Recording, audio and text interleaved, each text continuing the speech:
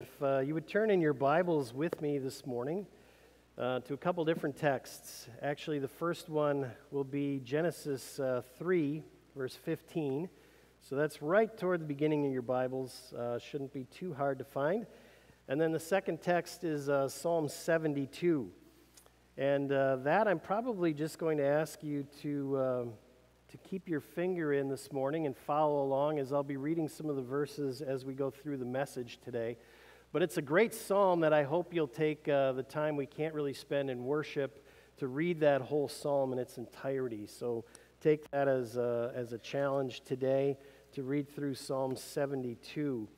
And then um, I also want to look with you at the catechism this morning because, as Rob said earlier, we are in this uh, series on um, the Heidelberg Catechism, I Belong to Jesus. And right now we're looking at the topic of prophets, priests, and kings that we're called to be. So that's page 873 in the back of your hymnals.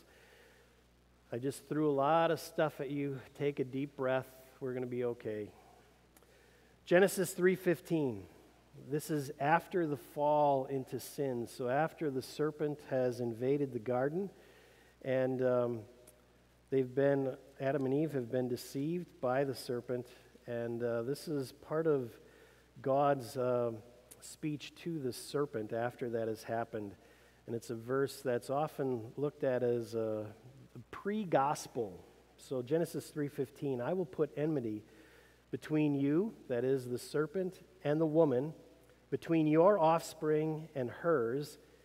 He, that is the son of the woman or the seed of the woman, will crush your head, and you will strike his heel. And then if you uh, turn over to Psalm 72, that's where you want to keep your, your finger today. And then I'm going to look at Lord's Day 12, page 873 in the back of your hymnals. And this is where uh, question and answer 31, or question 31 asks, Why is he called, that is Jesus, called Christ, meaning anointed? We talked about that a few weeks ago. And I just want to read the last paragraph that applies to him as our king. He's our eternal king who governs us by his word and spirit, guards us, and keeps us in the freedom he has won for us. And then what does that mean for us as believers? In the next question, why are we called Christians? Because by faith, I am a member of Christ, and so I share in his anointing. And it says, I'm anointed, and we'll look at the last part, the king part to strive with a good conscience against sin and the devil in this life, and afterward to reign with Christ over all creation for all eternity. And uh, this is God's word to us as his people. Thanks, uh, thanks be to God. So, friends in Jesus Christ, uh, the Catechism tells us that we are kings which we should probably consider to be a good thing. Except, my guess is we're not entirely sure because we don't know too many kings who are a part of our lives anymore. In fact, the only king I can remember who was really a part of my life as I grew up was, was King Friday on Mr. Rogers. And I hear that even he's been demoted to prince these days. So we don't have too many um, kings to look at anymore, and we're not really sure what's expected of us as kings. Okay, if we're kings, what's actually, what does that mean? What's expected of us? Um, come winter time every year at uh, Sheboygan Christian School, where I uh, went to school, we used to play King of the Mountain. And King of the Mountain was played when, the, uh, when it would snow and the end loaders would come and they would scrape up all the snow from the parking lot and they would pile it up into one big mountain in front of the softball diamond backstop. And then one of us would climb up that snow pile and declare him or herself to be king. And then all contenders who tried to usurp the throne were somehow thrown to the bottom of the mountain, or else they threw the king to the bottom of the mountain and they became king themselves. And uh, that's sort of how I think many of us view kings uh, today. They're sort of the, the, the ones who are, you know, ruthless and strong and commanding and forceful. They're the ones at the top of the hill. Um, today, they don't go so much by the title king as they do by, you know, dictator or president, we call them. And the name king is often reserved for people like, like King Charles over in Britain, who is more of a character, really, than a king. And yet, I think when you examine our culture a little more closely, you begin to see that there are still vestiges of kingship everywhere around us. Today, we might have different names for them, though. Many, one of those names, I think, is, is chiefs, right? We have chief executive officers and chief financial officers and chiefs of, of operations. Now, they may not wear crowns, but but there's no doubt who's in charge of the tribe, right? Some of you may be the chief of, of something. Although we also have chief meteorologists like uh, Tom Wachs and Brian Niznansky. I've always wondered what a chief meteorologist does. What are you chief of? Chief of the weather? Um, not quite sure. So that kind of, you know, waters down the title of chief. But, but you get what I'm saying. We've got these ideas of kingship throughout our lives. And um, even though we might use different titles today, it's still around. And most of us don't need the catechism to tell us that, in some regard, you and I are kings as well. Because, truth be told, we all want to reign over something, some aspect of life. We want to be kings of our homes kings of the family, perhaps, kings of the marriage, uh, king over the yard. Some of us like to view ourselves that way. Um, king of the office, king of my body, king of my toys, king of the mountain, king of the road.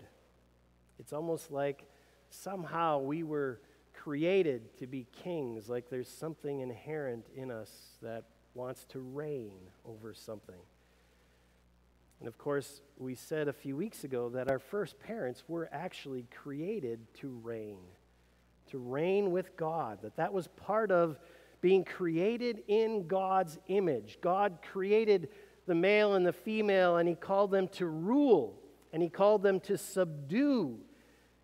And they were involved in reigning in the way that God reigns. And we saw that you know, God reigned by, by calling order out of the, the chaos that was present before creation. He created and He ordered His world, and then He called us and created us and set us in the garden to subdue the wildness of the garden and grow strawberries in straight lines and to reign over all of the creatures and to do it well, like the dairy farmers from Dordt.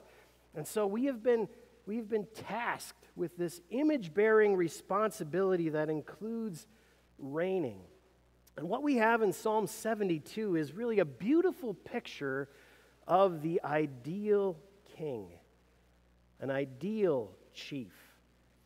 And so, if we are to be kings, this is a psalm that, that we ought to be familiar with so that we have a picture of, of what it means to be a godly king. And so I want to look with you this morning at this psalm and try and answer these questions the what and the who and the how of, of being an ideal king. Okay? The what, the who, and the how. So let's, let's start with the what. Um, what does an ideal king do? And if you look at verse 1 of our, of our psalm, the answer is it begins um, like this um, The king or excuse me, endow the king with your justice, O God, the royal son with your righteousness. And those two things answer the question what does an ideal king do? He rules or she rules with, with righteousness and justice. And those are not just randomly chosen words or terms. These are terms that tell us a king, a godly king, is expected to rule or to reign like God rules. Okay? Those two words, justice and righteousness, those, are, are, those come up again and again in Scripture, and they're called the foundations of God's throne. They're the foundations of, of his throne. God is righteous, God is just. These two things, therefore, are never absent from the reign of a godly king. And so look at how that plays out for the subjects of the king, right? Verse 2 He will judge your peoples with righteousness. In other words, he will always judge fairly. There will be no favoritism in his kingdom, no partiality. The weak and the powerful, the rich and the poor, we will all have to play by the same rules in, under his reign. Verse 3 The mountains will bring prosperity to the people. Prosperity, the word there in Hebrew is, is shalom. It's that word for God's wholeness, for well being, for the way that it should be. Okay? The mountains will bring this kind of wholeness to the people. Now, think about the mountains, all right? The mountains, nothing grew on the mountains, especially toward the tops. But having a godly king means that even the mountains are going to produce wholeness and fullness for us We'll go on. The hills will bring the fruit of righteousness. Okay, and the idea of righteousness here is that everything will function the way it was designed to function. In other words, the rains are going to fall when they're supposed to, not in the middle of harvest season when the tractors are going to get stuck in the mud, right? Everything is going to work the way it's supposed to, and it will all lead to an atmosphere of goodness and abundance. If you look at verses 6 and 7, this king will be like rain falling on a mown field, like showers watering the earth. You know what that's like this morning, right? It's been so dry, and you just have this feeling of, ah, it's right, it's good. In his days, the righteous will flourish, prosperity or abundance will abound till the moon is no more. What's being said here is when you have a godly king, that king is going to function, like we said the first week, as a portal between heaven and earth. And that, that king will be the vehicle through which God will pour out all the abundance, the goodness of heaven, the goodness of Eden into the lives of his people, into the earth. And so, a true king always represents the reign of God himself.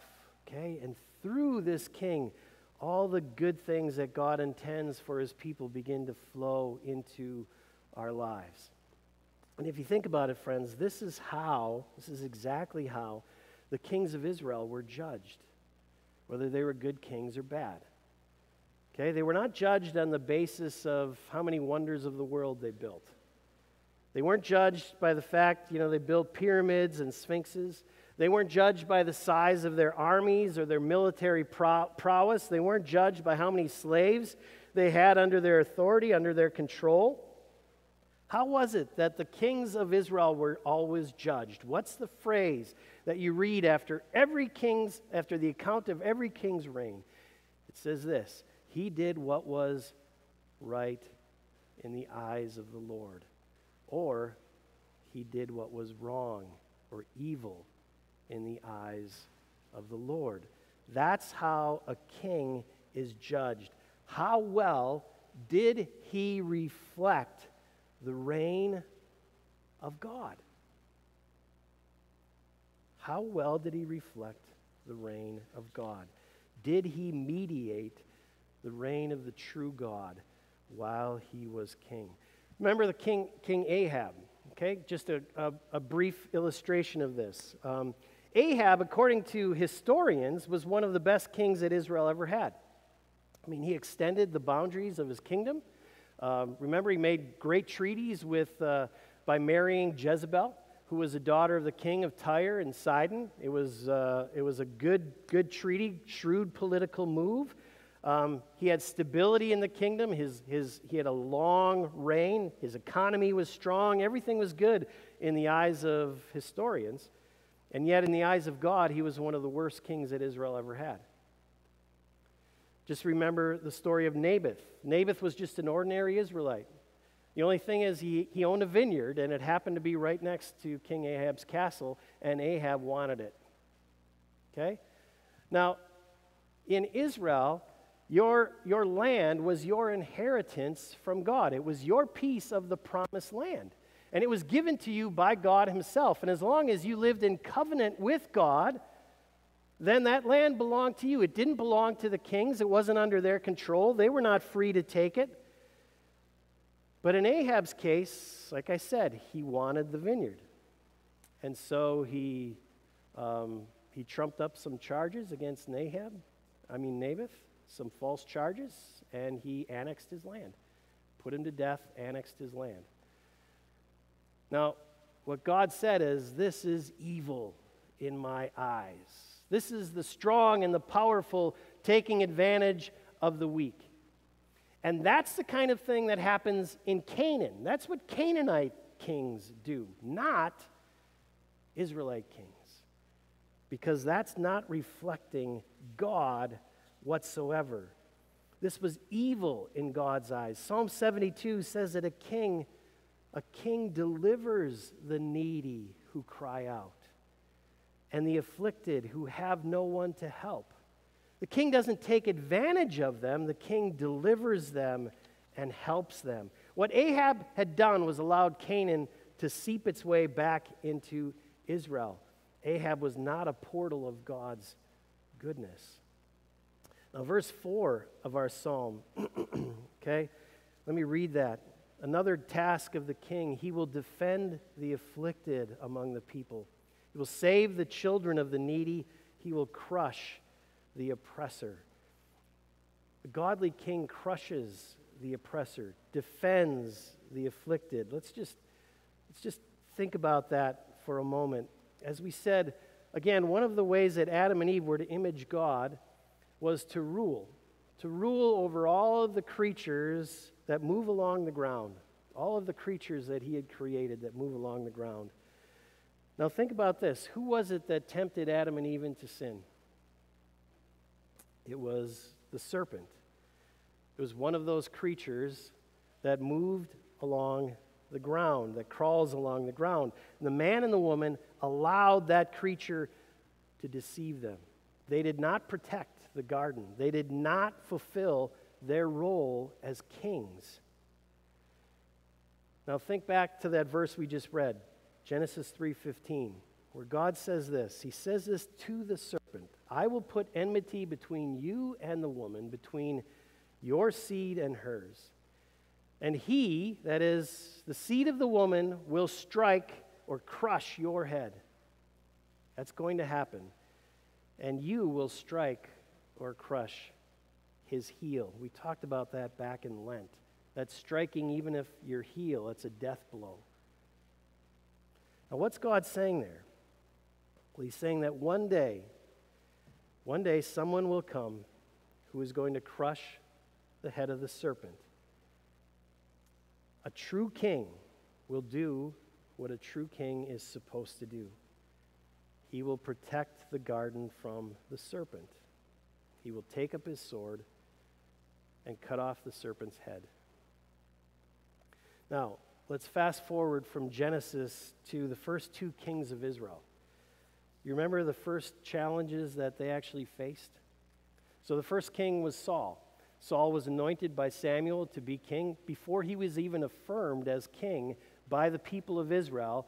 He had, a, he had to deal with an enemy of Israel. The first enemy he dealt with was Nahash, king of the Ammonites. And Nahash was a nasty guy. In fact, he had besieged an Israelite city and uh, they tried to make a treaty with him and say, hey, we'll serve you forever if you let us live. And Nahash basically said, look, the only treaty I will make with you is you'll be my servants, and I'm going to gouge out the right eye of everyone who lives here. Okay, so that was Nahash, not a very nice guy. And Saul had to deal with him. And Saul, we read, when he dealt with Nahash, he was filled with the Holy Spirit and he crushed Nahash and he freed the people. Now, why do I tell you that? Well, in Hebrew, do you know what the word or name Nahash means? It means serpent. It's the same word that you find in Genesis 3. And so this was a test for Saul. It was a test to find out are you going to be a better king than Adam was? Because Adam faced Nahash and he was deceived by him and he let him bring chaos back into the garden. What are you going to do, Saul? And Saul, filled with the Holy Spirit, cut the head off the snake. David, okay, second king of Israel, also anointed with the Holy Spirit. Do you remember who the first enemy was that David had to fight? Remember a guy by the name of Goliath? Some of you have heard of him. Do you remember how he was described in Scripture? His armor, in particular, he had scaly armor. He was another snake that David had to contend with. This was a test. What kind of king are you going to be, David? And we all know the story that David, you know, got out his slingshot and he, and he killed the giant, but oftentimes we stop there. We don't remember the rest of the story. Then he went over to the giant, he took the giant's sword, and he cut off his head. He decapitated the serpent. This is what a godly king does. He cut off the head of the snake. You protect the garden. Kings are anointed with God's Holy Spirit to protect the garden. This is telling us that we need a king who is filled with the Holy Spirit. Which brings us to the next question who? Who is this going to be, right? Verse 6 He will endure as long as the sun as long as the moon through all generations. In other words, his reign is going to be endless. Now, that could mean very little, all right? Could just be a formality. If you remember the book of Daniel, that's how they greeted the king in the book of Daniel. They said, Oh, king, live forever, right? It was just a formality, it was politeness, but it also could mean a lot. It could mean that, you know, this is how Israel came to see the Messiah that his reign would be unending. And then combine that with the boundless realm that verse 8 speaks of, a realm from sea to sea. And then verse 11 tells us that all kings, all kings will bow to him, all nations will serve to him. Serve him. In other words, his kingdom is going to be endless, it's going to be boundless, and it's going to it's going to include all things, all nations, all peoples. He will reign over it all. What's the psalm telling us? That we're looking for a Messiah. We're looking for not just an anointed one, but the anointed one. What this psalm is telling us is this is not an ordinary king. No other king can fulfill this kind of expectation other than God's own anointed one, anointed fully with the Holy Spirit. That's the what, that's the who. Now let's look at the how. What are the methods of a king like this? We have to think about the how. Remember what I said about King of the Mountain, right? That's how we usually think a king rules by raw force, right? When we think of kings and we think of authority today, we think of their demands, the demands that they put on us. We think of their lust for power. They think of the things that they want from their subjects, things like allegiance and military service and taxes, right? Kings are always demanding things. Psalm 72, however, speaks of a king in terms of what he will do for his subjects. Again, verses 12 to 14, he will deliver the needy who cry out the afflicted who have no one to help. He'll take pity on the weak.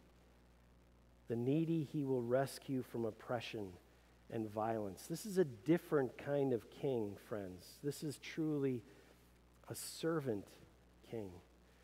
In fact, verse 17 says that all nations will be blessed. It's like the promise to Abraham the godly king is someone that God is going to pour out his blessings to the whole earth through this person. He will mediate God's blessings to everyone. Eden will come through this one. But now look at how they will come. Okay, verse 10. The kings of Tarshish and of distant shores will bring tribute to him. They will present him with gifts. Okay? So the picture there is these kings bowing before the anointed one and bringing him gifts. All right? And these aren't just tokens of courtesy and culture. Right? Remember uh, a couple years ago, maybe it was last year, I can't remember anymore, but the Packers were playing the Philadelphia Eagles in the, in the playoffs, and I think the mayors of Green Bay and Philadelphia got together, and the mayor of Green Bay brought cheese and brats and things from Wisconsin um, to honor the, the mayor of, of Philadelphia. And um, we're not talking about that kind of thing, okay? We're talking about kings bowing down because they recognize in Jesus or in this anointed one that this is the rule and the reign we have always waited for and always desired. Um, let me give you a little illustration. I drank a Sprite this week. I usually don't drink, drink Sprite, but I did this week, and I happened to notice their theme here. It says, Obey your thirst. Obey your thirst, right? Make thirst your chief. Uh, make thirst your king. That's probably not a very good idea if you think about it. Um, just talk to anyone who's, you know, been associated with an alcoholic or someone who's married to someone who drinks too much Mountain Dew. Um, it's not a good idea to obey your thirst. And yet, I think that this points to something here, and it points to this idea of choosing our king and choosing our chief. You know, there's a part of us, as I said earlier, that we want to be chief and king over everything, right? Over our own lives. We don't want anyone else to tell us what to do or how to do it. And yet, there seems to be another part of us that wants a chief, that wants a king over us. Someone else who is, who is responsible for our well being, responsible for our happiness, for our success. Think about it. Students want teachers who will help them learn. Um, workers want managers who will help them be productive. Citizens want laws that will help them thrive. We're looking for a king. I don't know if you've been following a couple stories in Milwaukee, but there's one story that's been going on for a while now. City leaders have been, have been fighting with the leaders of the housing authority because um, one of the public housing complexes in Milwaukee has got hundreds of people living there, and they are totally infested with bed bugs, and they have been for years. And the people just can't get anyone to take any action. And so they can't sleep at night, and they've got sores all over their bodies, and they just they say it is gross. They see bed bugs all over, and no one will do anything about it. What do they want? What are they looking for? They're looking for a king a king who's going to look out for the afflicted. Um, another example this was, this was all over the news a, a few weeks ago, um, but there was just a, a report that came out from the U.S. Surgeon General, and it's titled Parents Under Pressure.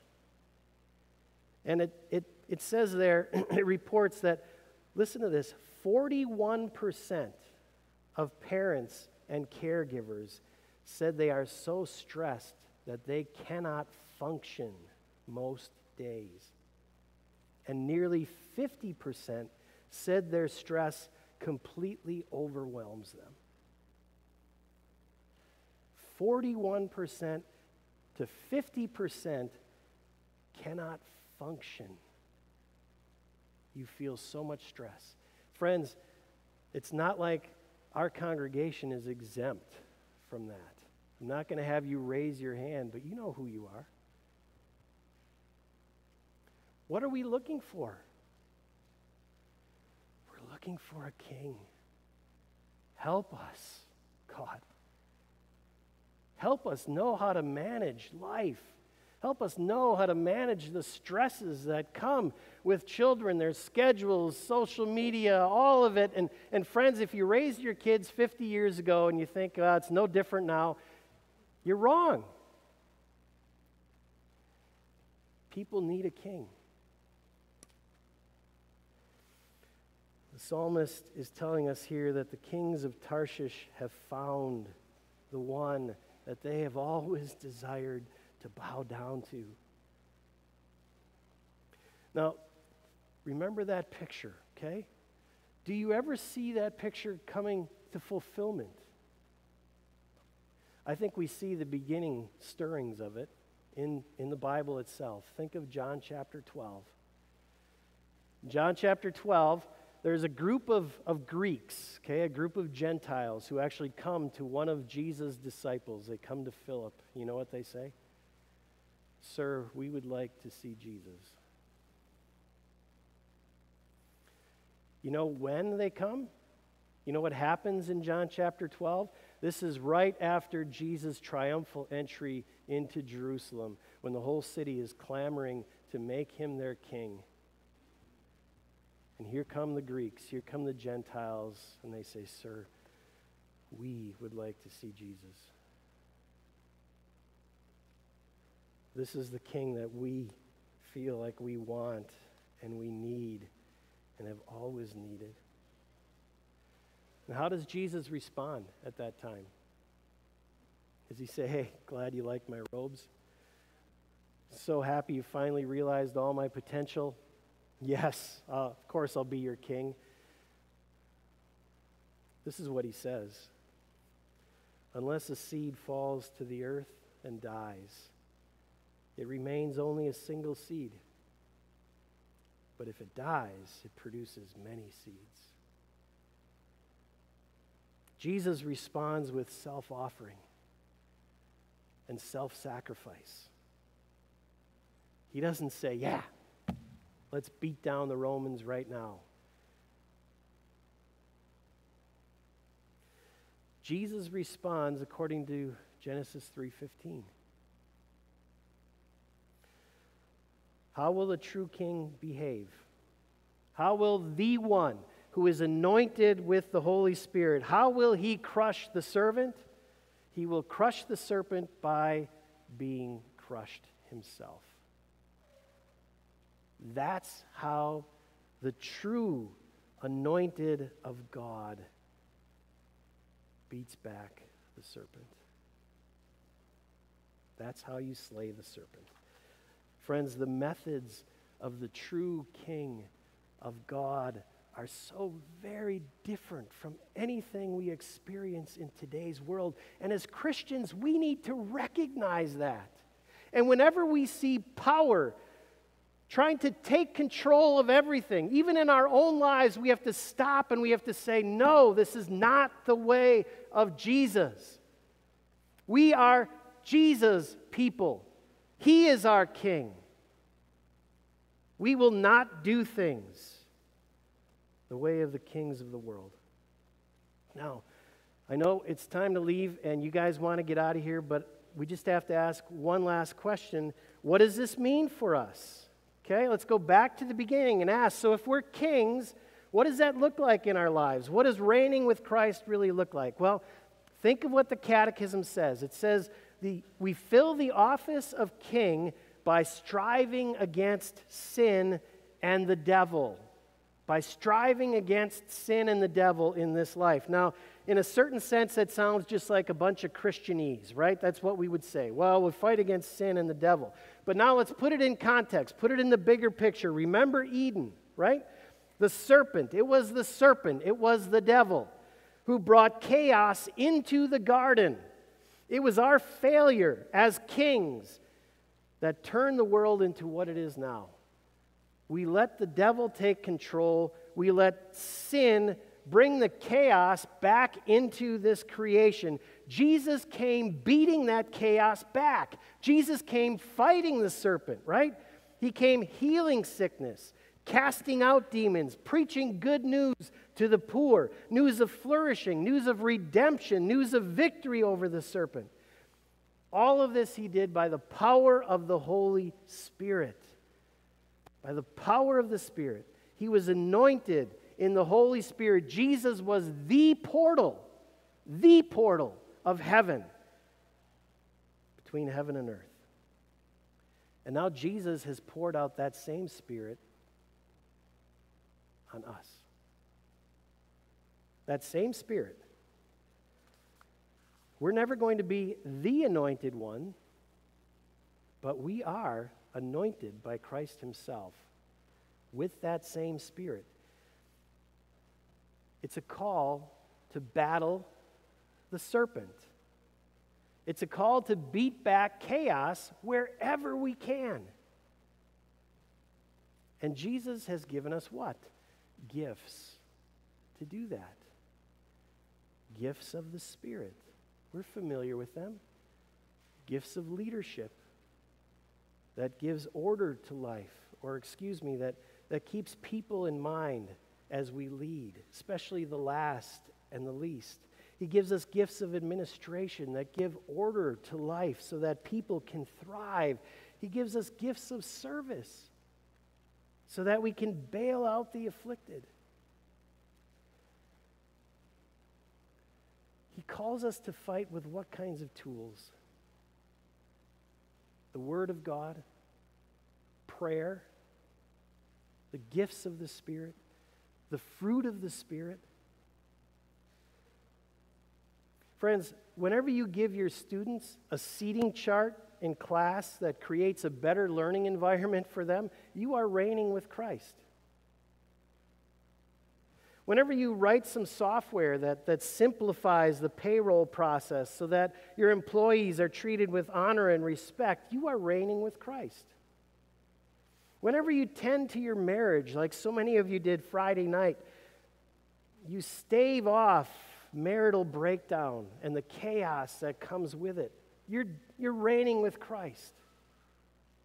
Whenever you teach your children to, to consider the fact that they are, that of how their actions affect other people, that they are not alone in the world, when you do that, you are reigning with Christ. Friends, whoever created the traffic light, for goodness sake, was doing kingdom work. Employer, employers are reigning with Christ. When you let your, your employees work manageable hours and you pay them what they're worth, and when they go on vacation, you let them take vacation from email as well. You're reigning with Christ. Athletic directors are reigning with Christ when you say, We're not going to overschedule our kids' sports because parents are too stressed already. 50% of them don't know how to get through another day. We're not going to do that. We're not going to allow extracurricular activities to be kings of our lives. They're not fit to do that.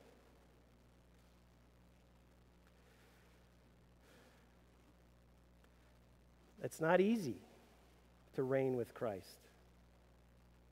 And if you want to reign with Christ, you have to remember that Jesus suffered and died for the way he reigned. So don't think everyone's going to be your best friend. Don't think everyone's going to clap for you when you when you walk the high road. Now, in the end, they might thank you and say, you know what? I'm so grateful. I'm so grateful to have Christ reigning in my life. That's if they don't kill you before that. But we are anointed with the Holy Spirit.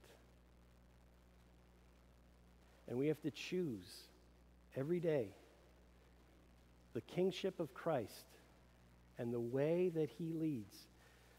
And it's going to take a couple more of your minutes because I think this is important.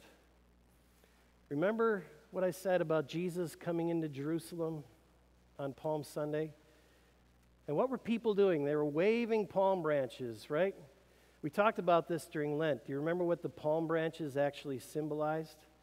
They symbolized the uprising of Judas Maccabeus, who was one of the insurrectionists who actually, you know, led Israel through a very, very difficult time, but he did it by the sword and in very, very bloody ways. And what's happening on Palm Sunday is basically the crowd saying to Jesus with their palm branches, We want you to be our king, and we want you to free us from Rome, and we want you to do it now, just like Judas Maccabeus did it. And Jesus rode into Jerusalem that day, not on a brilliant white steed like all the kings of that time did. You remember how he came in? On a donkey, or the foal of a donkey.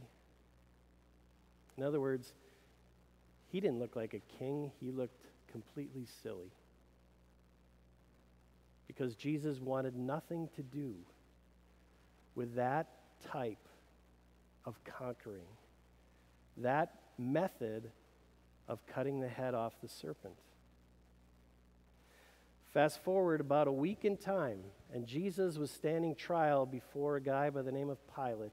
And Pilate did something that was a tradition, and he said, Look, I can offer you two people. You can have Jesus the Christ, you choose Jesus the Christ, or you can have what many manuscripts say Jesus Barabbas, Jesus, son of Barabbas, or son of Abbas. Choose. Which Jesus do you want? What did the people choose? Who did they choose? They chose Barabbas. Now, if you ever grew up in the church, you're thinking, why would anyone choose Barabbas over Jesus? Jesus is a nice guy. I mean, he did a lot of good things, right? He did miracles. He why choose Barabbas? Barabbas was a murderer. Barabbas is described in the Gospels as an insurrectionist. They weren't choosing necessarily Barabbas as a guy, they were choosing his methods violence, powering over everybody else. That's what Jerusalem wanted. Save us, Jesus. Save us now. That's what Hosanna means. And Jesus refused to do it that way. Because Jesus knew that the only way you cut the head off the serpent is for the king, the anointed one, to offer himself. But, friends, the point is every day we face that same choice that Pilate offered the people. Do you want Jesus the Christ, or do you want Jesus Barabbas? Who do you want for your king? And every time we choose to power up on somebody, whether it's in your family or in the office, every time we choose the way of power and violence and greed and pride, we're choosing Barabbas. It's pretty clear. We see it, we all see it. We see it in each other, we just don't often see it in ourselves. Choose Jesus. He's the anointed one of God. He's the one filled with the Holy Spirit. And it's only when you choose that Jesus that you choose to reign like Jesus. Let's bow together in prayer. Lord Jesus, fill us with your Holy Spirit. Come upon us in in power, in goodness. Let us recognize for real that the powers that can change the world are truly things like prayer, truly things like the gifts of the Spirit, the fruit of the Spirit, the self sacrifice of Jesus the Son. Lord, convince us that yes, these are the tools that push back the chaos. There's no other way to do it